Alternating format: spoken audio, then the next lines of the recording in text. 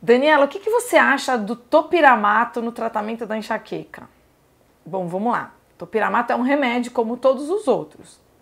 Remédio nunca atua na causa da doença. O remédio sempre vai amenizar sintoma.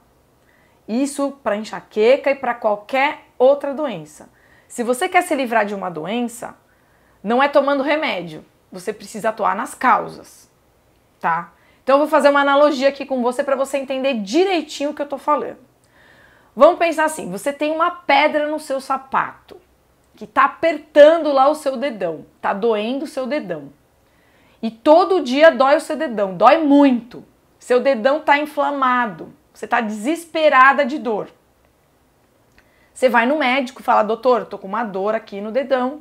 O que que ele faz? Ele vai te dar um remédio que pode fazer essa dor não ser tão percebida por você. Ele vai te dar um remédio que é preventivo. Você vai ter a dor, mas você não vai perceber a dor, você não vai sentir a dor. E aí o médico te fala assim, ó, se ficar uma dor mais aguda, né, se essa dor ficar forte, eu vou também te receitar um remédio para a hora da dor, um analgésico, um anti-inflamatório, tá aqui.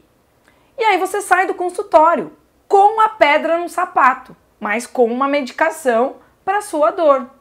Você vai lá para sua casa, começa a tomar a medicação direitinho, depois de um tempo, você continua tomando, aparece uma dor mais forte, você toma um analgésico. De repente, o que, que vai acontecer? Essa medicação parece que não vai mais fazer efeito.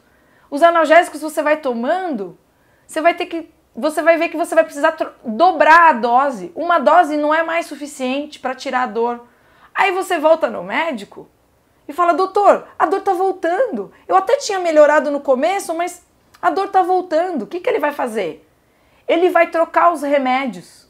Ah, então agora ao invés do topiramato, vamos tentar tomar o D-pacote. Qual que é o grande problema? Esse médico e você também não estão olhando para o quê? Para o seu pé, para a pedra que está lá no seu pé, dentro do seu sapato. Se é topiramato, se é D-pacote, se é nortriptilina, se é propanolol. É isso que você faz num tratamento somente medicamentoso de enxaqueca. Você está silenciando os sintomas, mas o problema continua lá. Na, é a pedra do seu sapato. Você precisa, óbvio, se você tem dor crônica, tem que silenciar um pouco os sintomas para você conseguir viver, né, conseguir fazer as coisas do dia a dia, sim, mas você precisa atuar nas causas. Se você não atuar nas causas, você nunca vai tirar a pedra do sapato. E o que eu ensino aqui é exatamente isso. É você tirar a pedra do seu sapato, é você atuar nas causas da enxaqueca através das mudanças, das mudanças de hábitos, da mudança do seu estilo de vida.